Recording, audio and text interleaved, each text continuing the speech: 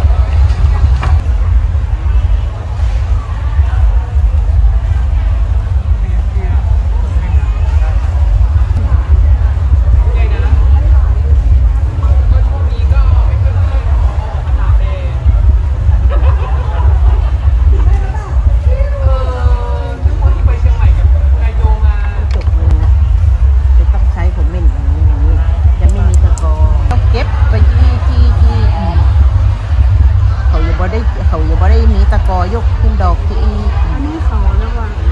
ประยุกต์เขาประยุกต์เออไม้ประยุกต์ประยุกต์ทำเพราะว่าเขาจะต้องบ่ต้องเก็บที่ที่มันมันต้องเขาจะโดนที่ที่ที่ไปตามลายเลยเขาจะ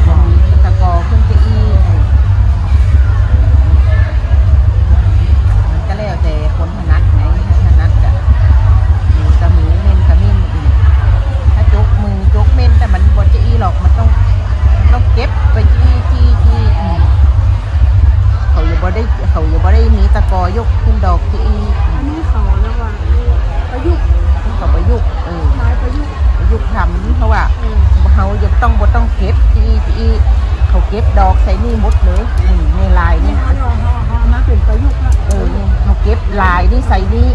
ใส่นี่แล้วเขาถึงมายกเอาที่มันลายมันเออแต่ก่อนนี่มันบ่มีที่เขาก็ต้องเก็บ เก็บไปมันใจเวลาเหมือน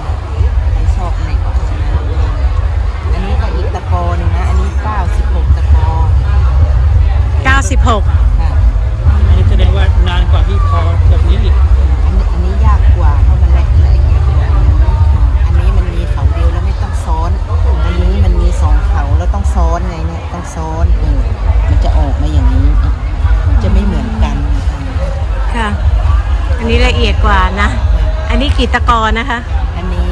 46 ตะกอค่ะ อันนี้ใช่ไหมคะตะกอ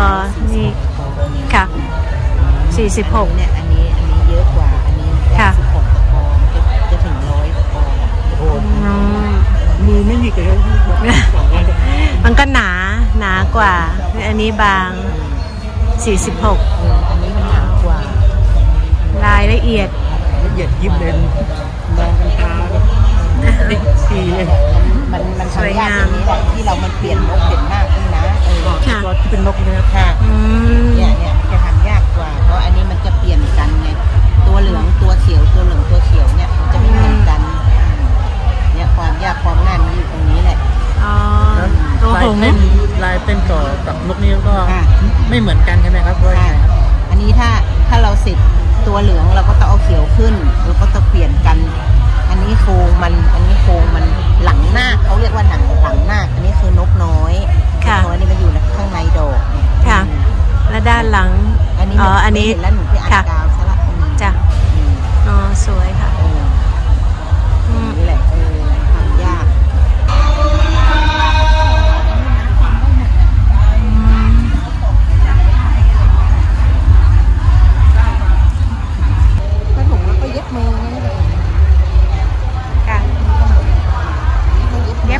เลยอันนี้ก็ปักใช่ไหมคะใช่อืมค่ะ สวยค่ะ ของเราก็มีเหมือนกันเพราะว่าญาติให้มาเนี่ยอืมเนี่ยค่ะ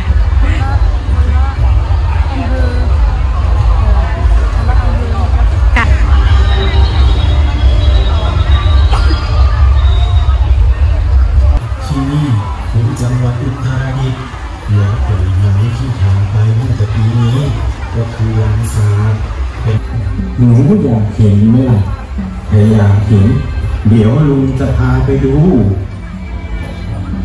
อยากเห็นค่ะลุง